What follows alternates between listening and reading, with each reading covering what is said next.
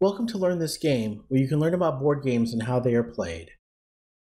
Today, we'll be looking at Rifles in the Ardennes. In this video, there'll be a general description and overview of the game. We'll inventory the components, and we'll go through gameplay, including setup, sample turns, and victory conditions. Lastly, we'll review any accessories you may find helpful for this game.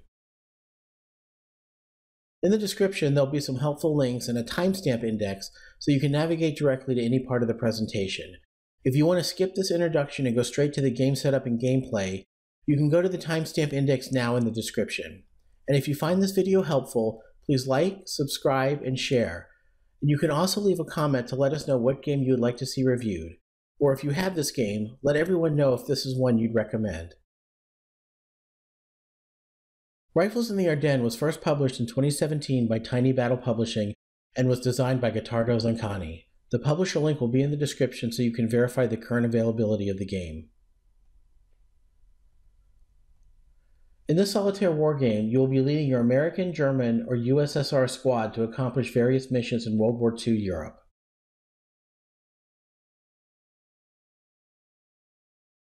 The age recommendation is 12 and older. This is considered an easy game to play, and each mission averages about 1 to 2 hours in playtime.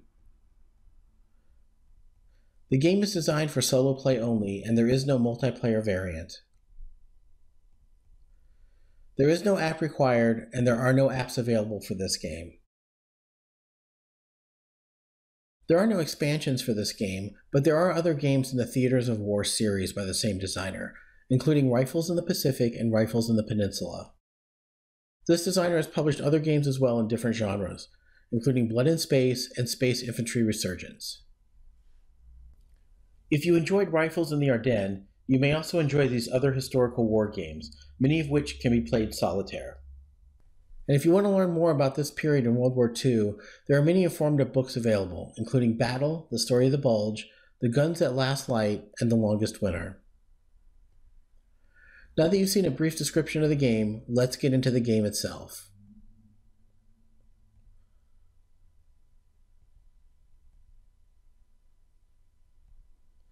This is a solitaire war game that uses a map, counters, and dice. Thematically, it's based on squad level combat during World War II in the European theater, involving soldiers from the United States, Germany, and the USSR. Now let's see how to successfully accomplish a mission. Each game is comprised of a mission, and there are eight missions to choose from. The objective is different for each mission and is listed on the top right of each mission briefing. In Mission 1, your soldiers will start just under Stripe 6 and have to reach Stripe 1 at the top of the map card. You lose the mission if all your units are eliminated or the turn track reaches zero. Now let's look at the components. Rifles in the Ardennes comes with the following a 14 page color rulebook, a briefing book of eight missions. Each mission will have its own objective and tables unique to that mission. An 8.5 by 11 inch map card divided into six sections called stripes. A unit roster card meant to be copied and written on. The unit roster is where you will list your soldiers and refer to the common tables needed for all of the missions. It also has the turn track at the bottom, which is the timer for the game. There is also a card showing squad examples for each of the three nations in the game. Each army also has its own army card, which breaks down the units, their cost, and other information you will reference throughout each mission. There is an army sheet overview card, which helps to explain the different parts of the army sheets. There are also 43 1 inch unit counters and 42 administrative counters. US units are represented by green counters, Germany by the blue counters, and the USSR by light brown. You will also need five six sided dice, which are not included, and you will also need a container from which to draw certain counters during the game. This is also not included. Now let's set up a mission to see how the game is played. First, we'll select a mission from the mission book. We'll start with Mission 1. In the upper right corner of each mission is a description of the mission, the objective, number of turns, and setup instructions. The rest of the page has the tables we will need for this mission. Next, place the map card in front of you. The objective states that we must reach stripe 1. Our units will be starting under the bottom of the map below stripe 6, and will have to progress in this mission to the first stripe. We will then place the game marker on turn 10 of the unit roster card. The mission instructions then tell us to pick event markers 1 through 8 and place one randomly on each stripe. The back of each event marker has a question mark. You can draw these from a container or place them face down and shuffle them for randomness. Then place one on each stripe. The two unused event markers are not revealed and placed aside for the remainder of the mission. Next, we have to set up the terrain per the mission instructions. We'll use the terrain table for this mission and roll one six-sided die for each stripe, beginning with stripe 1. For stripe 1, we roll a 2, which according to the terrain table leaves the stripe open.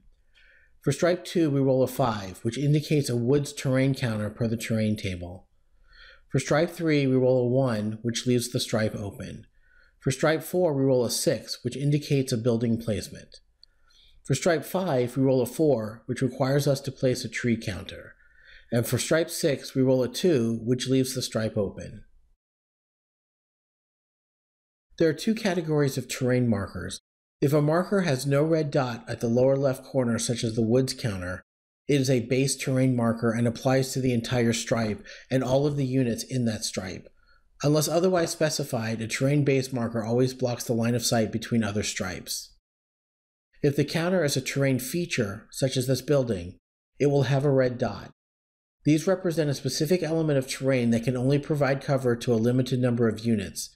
These do not block the line of sight. Each terrain feature can only support one group of a maximum of four units on one side. Enemy units only occupy a terrain feature when instructed by the mission sheet. Our units can elect to move into a terrain feature by spending an action point. Units in the same or adjacent stripes can always see each other. Units two or more stripes apart can see each other if there are no base terrain markers between them. The final step in setting up the game is squad selection. First, we will select the army we will play and one enemy army. We will be the US Army playing against the Germans. The army sheet includes the information needed to play that army. Under the name of the nation are the maximum army points used to assign your squad and equipment. The cost to recruit each unit is listed on the far right of the table. Some missions may provide additional army points or specific unit types as attachments. The army sheet also lists the units, equipment, and various tables that will be used throughout the mission.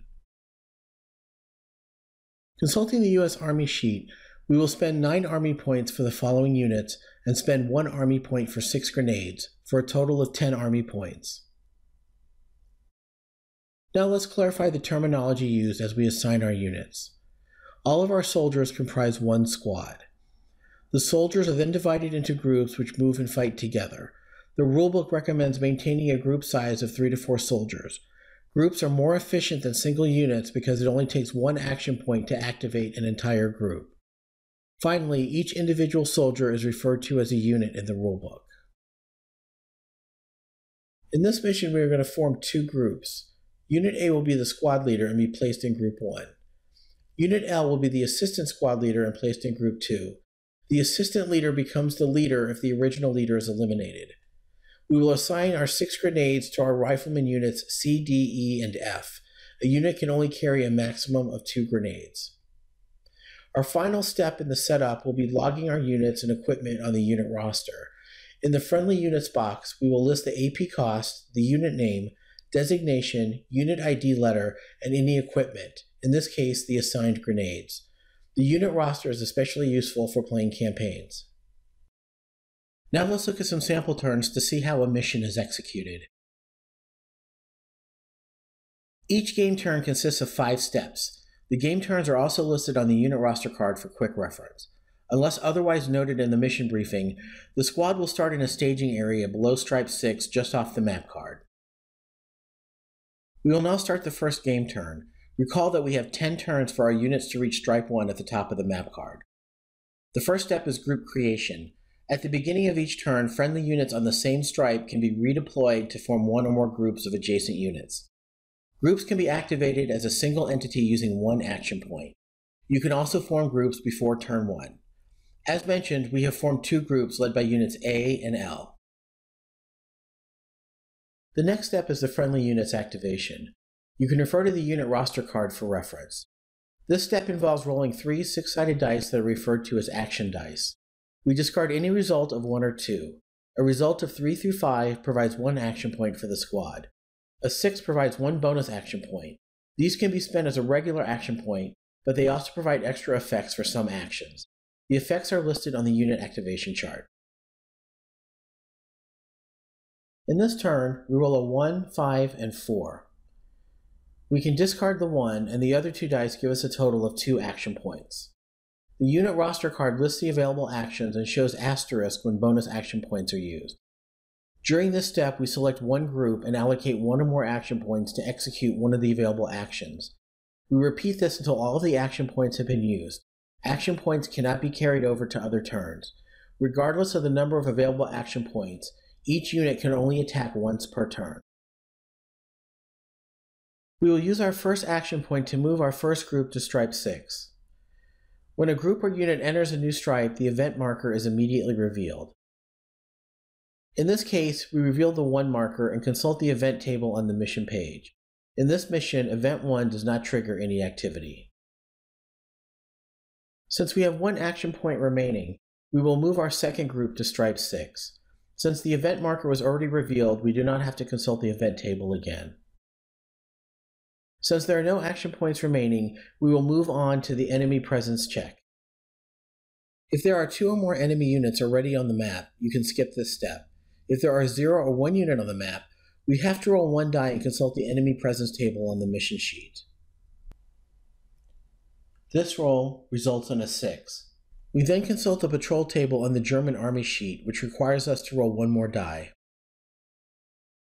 We roll a 1, which requires us to place one enemy rifle unit on the previous stripe. You can also log the enemy unit on the unit roster card. A reference to the previous stripe refers to the numerically preceding stripe, or the stripe just above the current stripe. In this case, stripe 5 precedes stripe 6, so we place a German rifle unit on stripe 5. The instructions do not indicate that the unit be placed attached to a terrain feature, so the unit does not have the benefit of being covered by the tree. The next step is the enemy forces activation. If enemy units are present on the map, we must roll one die for each enemy group and consult the enemy activation table on the mission sheet. In this case, we roll a 4. The table states that the unit will attack a target group if in range. Looking at the German army sheet, we see that the rifle unit has a range of 1. Range 0 refers to any units in the same stripe. Range 1 refers to the stripe above or below the stripe currently occupied by the unit. Next, we refer to the target table on the mission sheet. The first section on the table is used to determine which group will be targeted. The second part of the table will then determine which unit in that group will be targeted. In this case, we roll a 2, which indicates the enemy unit will target our second group, which is the smaller group since it only has 3 units compared to Group 1, which has 4 units. We then roll a 4. The table indicates the enemy will target our unit in Group 2 with the lower target number. We can find the target numbers for our units by referencing the U.S. Army sheet, which shows each of our units has a target number of 6, so we select one of the rifle units. The enemy rifle unit now attacks our targeted rifle unit. To execute an attack, each attacking unit rolls one die to determine the attack outcome. In order to calculate the results, first we take the die roll and then add the result of the attacking unit's combat factor and any die roll modifiers. To find the combat factor for the attacking unit, consult the attacking unit's army sheet. For this unit, the combat factor for the rifle unit is 1. To see the combat modifiers, we can refer to the table on the unit roster card, which shows the modifiers for the attacker and defender. In this case, no modifiers apply. So a die roll of 4 plus a 1 combat factor plus 0 modifiers equals a 5 attack roll.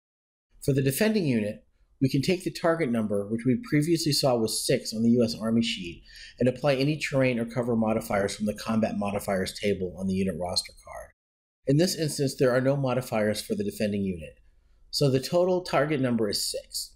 Since the attacker's 5 is not equal to or greater than the defending 6, there is no effect. Since there are no more enemy units, we move to the last step of the game and advance the turn marker to 9. We now start the next turn. The first step is group creation. we can reform our units into new groups who occupy the same stripe. In this case, we will leave the current two groups intact. Next, we start the friendly unit's activation by rolling three action dice. The roll results in two fours and a two. Ones and twos are discarded and there are no sixes, so we are left with two action points to spend this turn. Once again, we consult the available actions on the unit roster card to review our choices. We now have some strategic decisions to make. In order to increase our chances of eliminating the German rifle unit, we could spend both action points on flanking fire, which would give us a plus one modifier to our attacking dice rolls. However, we have to keep in mind that we only have nine more turns to reach stripe 1. So in the interest of pushing forward towards stripe 1, we spend one action point moving the first group to stripe 2, which leaves us one action point left. Moving into stripe 5 immediately activates the event marker, which turns out to be a 5. When we look at the event table again on the mission sheet, we see that a 5 places a light machine gun unit on a building on the previous stripe. We then select a German light machine gun unit and place it on the building terrain feature on stripe 4, since stripe 4 is the previous stripe to stripe 5. Had there not been a building already present, we would have had to have added a building counter to the stripe. The building now provides a plus 2 modifier to the target number of the German unit. We have one action point left, which we use to activate Group 1 to attack German Unit B, both groups of which are in Stripe 5. First, we calculate the target number for the German unit. As before, we consult the German Army sheet to see the rifle unit has a target number of 6. Because the German unit was not attached to the tree for cover, and there is no base terrain counter, there are no additional defense modifiers, so the total target number is 6. Each friendly unit in the activated group gets one die roll against the unit of its choice in the selected enemy group. Since there is only one enemy unit, each friendly unit will get one die roll against this unit. The first firing friendly unit is Unit A, who has a submachine gun. Per the Army sheet, Unit A can only fire in range 0, which means it has to be in the same stripe as the target. The Army sheet also shows the submachine gun has a combat factor of 3. In this turn, there are no additional die roll combat modifiers. Unit A rolls a 2 and adds the combat factor of 3, which has a final result of 5, so there is no hit. Next, the light machine gun gets to fire.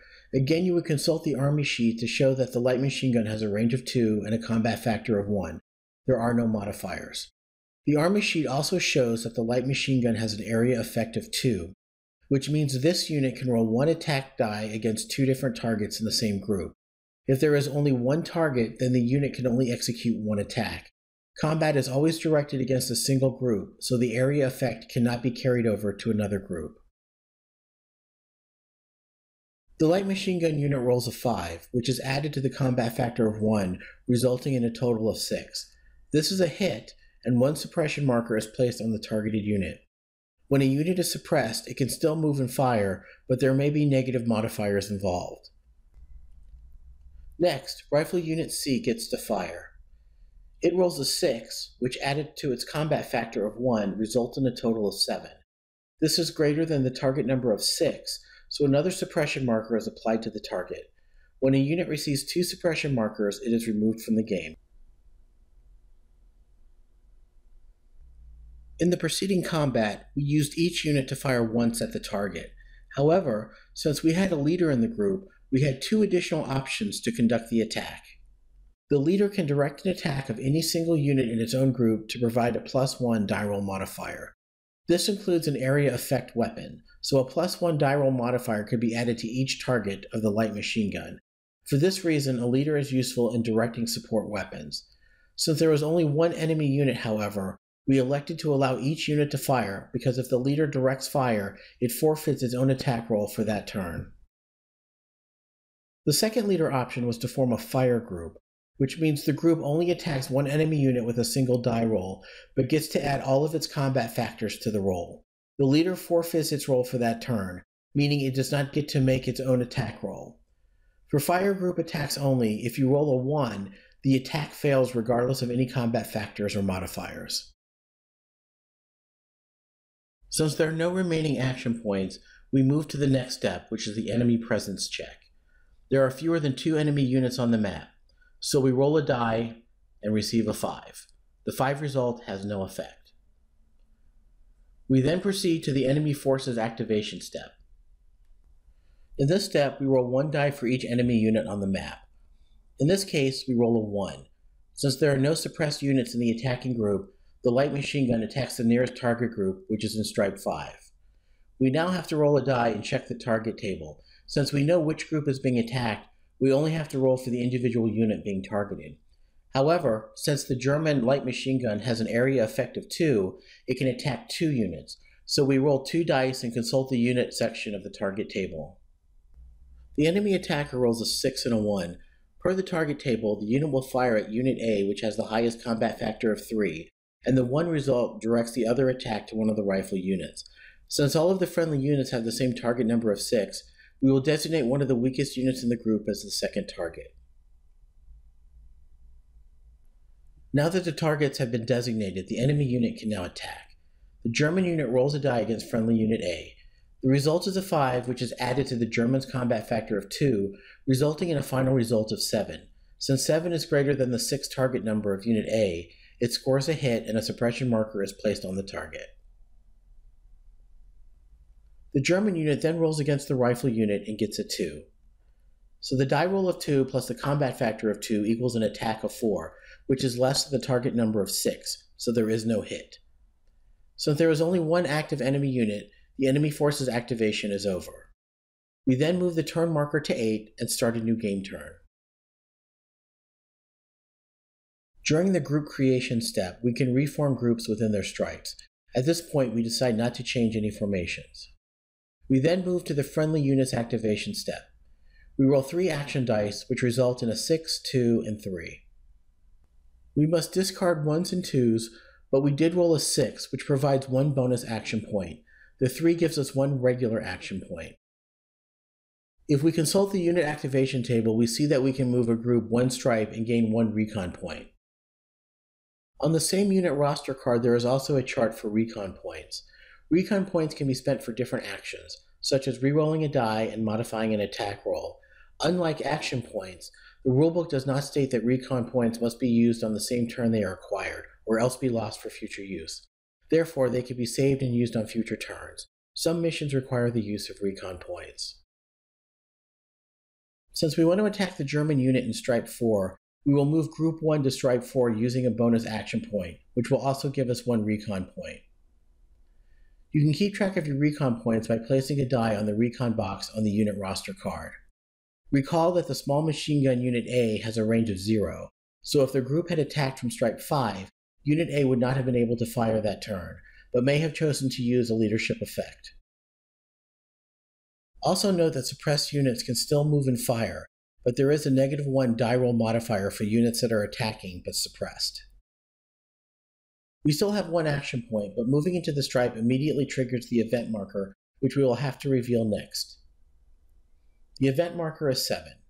According to the event table on the mission sheet, heavy rain causes a negative 1 die roll modifier to combat, except at range 0. Since we will be attacking at range 0 in the same stripe, we will not have to apply the modifier at this time. Now let's spend our last action point to activate Group 1 to attack the German unit. The German unit is attached to the building, which has a plus 2 modifier to the target number of 6, providing a final target number of 8. Each of our units gets to roll one die to attack the enemy unit. We will use Unit D Rifleman for the first roll. Recall that Units C and D were each assigned a grenade at the beginning of the mission. Once a grenade is used, we can cross it off the unit roster card. Unit D will use its one grenade to attack. A grenade can only be used at range 0 instead of the standard attack roll, it has an area effect of 3, meaning it can attack up to 3 units in the target group. Or, the grenade can be used against a single target to add the grenade combat modifier to the weapon combat modifier. Since there is only one targeted unit, we will use the plus 2 grenade modifier instead of the area effect option. The grenade modifier is listed on the combat modifier chart. Unit D rolls a 5, which added to its combat factor of 1 and the grenade combat factor of plus 2 results in an 8, which is equal to or greater than the target number of 8, so the enemy unit received a hit.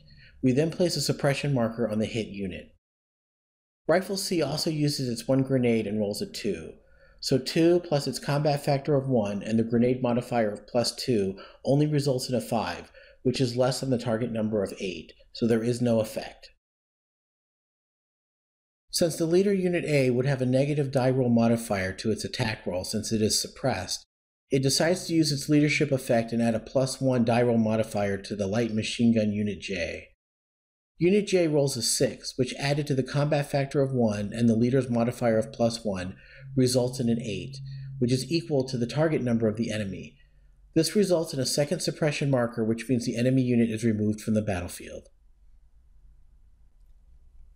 We next move to the enemy presence check. Since there are fewer than two units on the map, we must roll a die. We roll a 2, which has no effect per the enemy presence table on the mission sheet. We then move to the next step, enemy forces activation. Since there are no active enemy units on the map, we can move to the last step and advance the turn marker to 7. We are now ready to begin a new turn. Since we do not need to regroup any units, we can proceed to the friendly units activation step. This time we roll three action dice, resulting in two twos and one five, giving us only one action point this turn. We will use our one action point to use the recover action in order to attempt the removal of the suppressed marker from Unit A.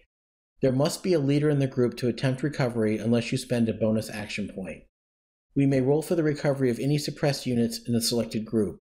The cost is one action point if the leader is in the group, and one bonus action point if the leader is not in the group. To attempt recovery, we roll one die. If the result is three or more, the suppressed marker is removed. In this attempt, we roll a 5 so we can remove the suppressed marker. We now move to the enemy presence check. Since there are fewer than two enemy units on the map, we roll one die and get a 1. According to the enemy presence table, there is no effect. Since there are still no active enemy units on the map, we can move past the enemy forces activation step. We then advance the turn marker to 6 and prepare for the next turn. So at this point in the game, we have 6 game turns remaining to reach Stripe 1 with our units. The mission sheet does not specify how many units must reach Stripe 1, so you will need to decide if all of your remaining units must reach Stripe 1 or if at least one unit will suffice for success. These sample turns have covered most of the basic gameplay. There are still 7 more missions you can play individually or as a campaign. You should also be able to replay Mission 1 because the terrain and event markers will change from game to game, and the various mission tables should provide variation as well. Now let's recap the victory conditions and objectives. Keep in mind that each mission will have its own objective.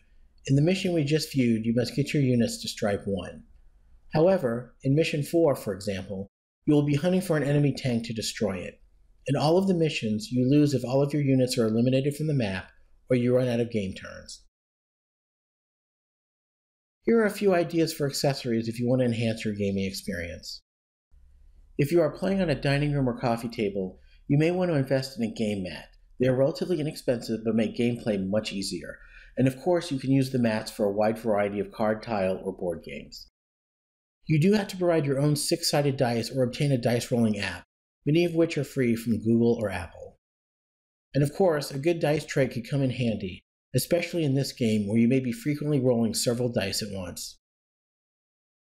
This concludes our review of Rifles in the Ardennes. Visit us at these sites and don't forget to leave a comment on what games you would like to see reviewed and played. And if you'd like to experience something greater than liberating Europe from the Nazis, stick around for our disclaimer. Coming up next.